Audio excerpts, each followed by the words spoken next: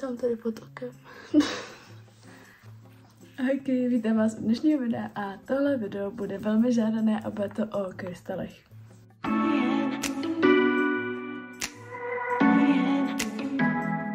Já jsem se vás ptala na mém Instagramu, abyste mi psali nějaké otázky, které vás zajímají nejvíc ohledně krystalů. Máme tady sepsané, takže pojďme rovnou na to. První otázka je, jaký je můj oblíbený krystal, což se mě ptáte fakt strašně často. A můj oblíbený je labradorit a taky florid. Nevím proč, ale nějak mě to k ním táhne a strašně se mi líbí. Florid i labradorit mají takovou specifickou barvu, labradorit má takové odlesky, tady někde možná vidíte fotky a florid bude třeba zelený, žlutý, fialový, fakt má strašně krásnou barvu a ukážu vám takový můj nejoblíbenější kousek floritu, který mám doma. Je to takovýhle krásně veliký kus a koukejte, že prostě, aby tam nebylo to světlo, je fakt úplně boží. Takže fluorid a labradorit moje topky. Dále tady máme, jak si vybrat pravý krystal právě pro vás. Což je docela jednoduchý. Buď můžete vybírat podle jejich účinků, jaký mají vlastně vlastnosti, pokud třeba chcete kámen na lásku, tak si kopíte růženin, pokud třeba sebevědomí, tak si kopíte karnel. A nebo taky můžete vybírat prostě podle intuice, podle čeho často vybírám já. Prostě když mě to k nějakému minerálu, krystalu láká, tak si ho prostě koupím. Nějak cítíte, že ten krystal prostě je pro vás vhodný. A pak taky další možnost může být podle znamení, na to se taky strašně často ptáte, jak si vybrat minerál pro vaše znamení. A to můžete a taky nemusíte, jelikož já to třeba takhle podle toho vůbec nevybírám. Ale někdo to tak dělá, takže pokud vás nějak táhnou minerály podle znamení, je to spíš takový, pokud nevíte, tak si to vyberete podle toho znamení. No a pokud třeba vám někdo říká, že má strašně rád, dejme tomu ametist, ale vy ametist moc nemusíte, tak si ho vůbec kupovat nemusíte. Je to prostě čistě na vás, takže když to někdo říká, třeba pokud teď já jsem vám řekla, že mám labradorit a florid, neznamená to, že teď všichni musíte mít labradorit a florid, jo. Je to prostě fakt na vás, komu vám nebo ne ke komu, ke jakému minerálu vás to táhne, tak ten si prostě kupte a to si myslím, že je úplně to nejlepší, co můžete udělat a samozřejmě podle těch vlastností. Dále se ptáte, kde kupovat krystaly. A na to mám jednoznačnou odpověď, protože možná někteří to víte, někteří to možná nevíte, ale sama mám vlastní e-shop s krystaly. Jmenuje se to Crystallium.cz a pokud chcete nakupit minerály, tak doporučuji náš e-shop, jelikož jsem ho založila já a jsem s ním maximálně spokojená. A máme krásné recenze, jsme taky na TikToku, na Instagramu, Facebook, máme dokonce i YouTube, kde vidíte to zákulisí z té firmy. Takže pokud chcete minerály, tak můžete samozřejmě tam, můžete i jiný obchod, ale doporučuji samozřejmě nejvíc naše krystálium, jelikož se tím fakt stojím a věřím, že budete spokojený. A tam taky najdete, jak jsme se bavili o znamení, tak tam najdete kategorii přímo podle znamení, takže pokud chcete třeba minerály pro váhu, tak dáte kategorii podle znamení váhy a tam je takhle najdete ale pokud třeba neradí objednáváte z e-shopu, tak můžete naštívit třeba různé i stánky, jsou různě po hradech nebo i nějaký kamenný obchody. Myslím, že my tady u nás žádný kamenný obchod s krystalem ani nemáme, takže já tu možnost třeba nemám, ale pokud se třeba z Prahy, z Brna, tak tam věřím, že je taky plno kamenných obchodků.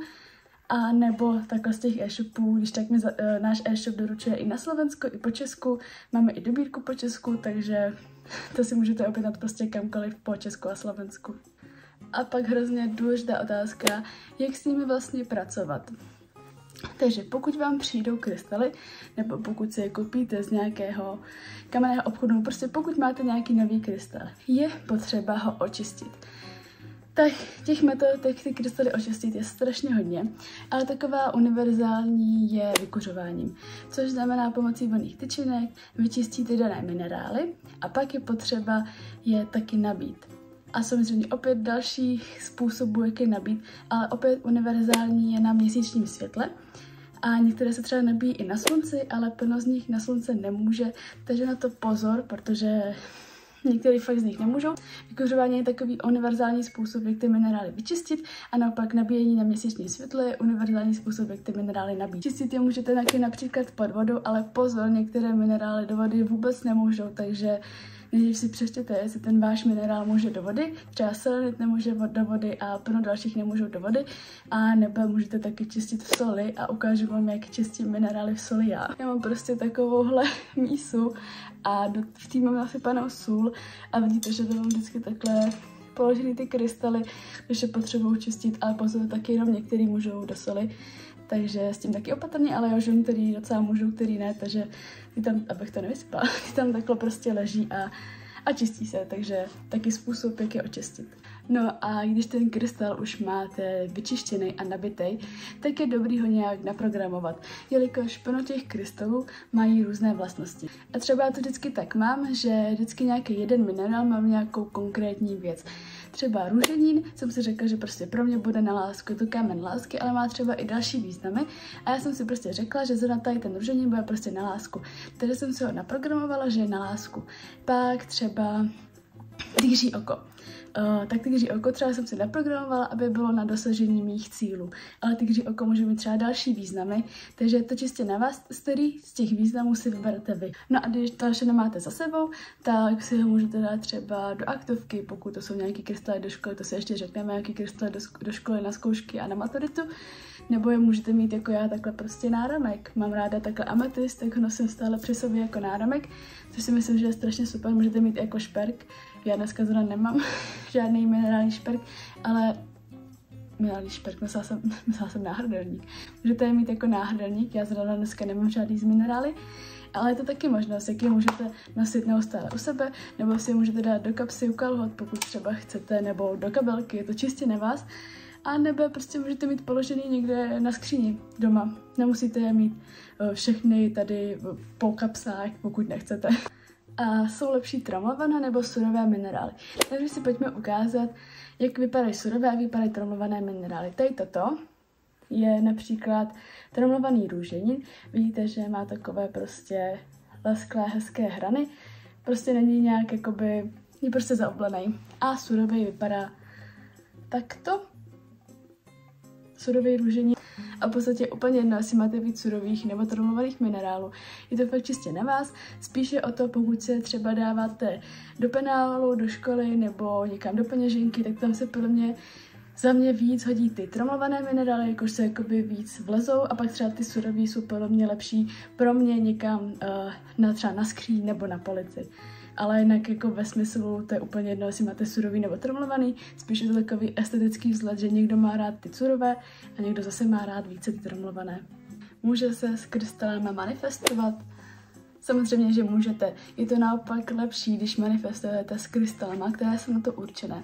Takže dáme si příklad. Chcete si třeba manifestovat vztah nějaký nekonkrétní, chcete, abyste v, nich byl, abyste v tom vztahu byli šťastný a měli toho vysněného partnera, tak si na manifestaci vezmete růženiny, jakož růženiny, kámen lásky a nebo nějaký jiný kámen na lásku a na vztahy. A také to můžete udělat s dalšími minerály, který máte a chcete podpořit také tu manifestaci. Samozřejmě nemusíte, pokud chcete manifestovat klasicky bez krystalů, jde to, samozřejmě jde to, je to úplně v pohodě, ale pokud chcete nějak podpořit víc tu manifestaci, tak si myslím, že je super mít ty krystaly a pokud si někam třeba píšete vaši manifestaci, tak já jsem dělala to, že vždycky jsem ten dejář nebo ten deník zavřela, na to jsem poskládala ty dané krystaly a takhle jsem prostě manifestovala, nebo jsem u toho měla ty krystaly a tak. Takže samozřejmě jde to a myslím si, že to je naprosto super. Myslím si, že byste se určitě ptali, co je to manifestace, jelikož ne všichni možná víte, co je to manifestace. Takže právě proto jsme na krystály udělali e-book o manifestaci. Vypadá takhle je úplně krásnoučký, celý růžový. A tam jsme shodnuli, co je to manifestace, jak na první manifestaci, co dělat a nedělat při manifestaci. Je tam, myslím, že 14 metod manifestace, máte tam i prostor na to si psát vaši manifestaci. A je tam toho opravdu hodně. A je to udělané spíš pro ty začátečníky, pokud právě vůbec nevíte, jak na manifestaci, tak tenhle e-book je přesně pro vás. No a když já jsem začínala s manifestací, což bylo fakt strašně dávno, tak nikdo taková e-book jsem prostě nenašla nic takového takového, musela jsem to hledat z několika zdrojů, strašně dlouho.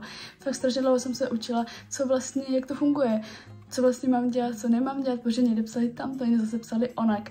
A bylo to takový strašně všechno zmatený, protože jsem prostě vůbec nevěděla, co mám dělat. A tehdy, kdybych věděla, že existuje, nebo že tehdy asi pro mě neexistovalo, protože jsem prostě nic nenašla, že kdyby tehdy tohle bylo, tak bych byla naprosto úplně nadšená, protože tam je prostě všechno, co potřebujete vidět, ty základy tam prostě jsou.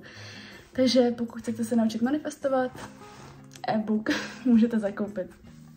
A nebo pokud nechcete takhle e-book, nevyhovuje vám to, tak já mám potom ještě Hero Hero a to je jenom o manifestaci, o právě o spiritualitě, úplňky, mám tam i něco o krystalech a mám tam hlavně český subliminals, což jsou takové podprahové nahrávky, které vám podporují tu manifestaci a je to vlastně taky způsob manifestace, takže třeba mám tam naučení, ty jste mi strašně hodně chválili, na manifestaci školy, dobrý známky, dobrých kamarádů a psali jste mi, že jste se to pustili a u toho jste se učili a že jste měli úplně výborný výsledky, takže to tam taky nedáte na mým Hero Hero. Pak další otázka je, jestli ukážu kolekci mých krystalů a já bych vám ji strašně ráda ukázal, ale myslím si, že asi bychom na to měli udělat samostatný video, jelikož jich je strašně hodně a jak mám i ten e-shop, tak mám přístup k hodně minerálům, takže moje, moje, moje sbírka je strašně obsáhlá a strašně rozsáhlá, takže kdybyste chtěli video sbírku mých krystalů, tak mi určitě napište do komentářů a já to pro vás ráda natočím, ale myslím si, že tady do toho videa by to bylo už pak strašně dlouhý. Ale ráda to udělám, mám jich fakt hodně, ať už šperků, surových, vyřezávaných tvarů, tak jich je hodně, takže když tak mi napište a já to pro vás ráda udělám. A jelikož nám začíná školní rok, pokud nevím, kdy tohle video vidíte, ale když to točím, tak je září, tak jste se i ptali, jaký krystaly si máte vzít do školy. Já osobně, co jsem nosila třeba k maturitě, nebo co nosím teď na zkoušky na vysokou školu, tak vždycky nosím týří oko. Týří oko mám zafixované, že nepomáhá vašim cílům a můj cíl je udělat tu zkoušku, nebo udělat ten test, nebo udělat tu maturitu, takže tygří oko. Dále ametist. Ametist, abych se nestresovala, abych byla taková klidnější, takže ametist taky vždycky nosím buď takhle primárně jako náramek, a nebo taky jako krystal. Dále do školy doporučuji taky třeba karnel, ale moc se to nedoporučuje nosit s ametistem, a důvod je takový, že ametist jako spíš uklidňuje tu energii a naopak karneol vám tu energii dodává. To tak jako pro sebe, sebevědomí a myslím si, že karneol je ideální, pokud máte nějakou ústní zkoušku, nebo nějakou prezentaci a chcete při ní vypadat sebevědomě. Takže to si myslím, že Kernel je taky super. Já bych doporučila Sodal, jelikož ten mám zafixován pro soustředění a pokud píšete třeba nějaký psací test a nevím, se moc soustředit, tak si myslím, že Sodal je fakt super, jelikož já se vždycky beru sebou a jsem v pohodě, takže Sodal taky doporučuji. A pak myslím, že třeba celkově do školy ten růžení uh, pro přátelství, nebo třeba pokud hledáte nějakou lásku, tak i pro lásku.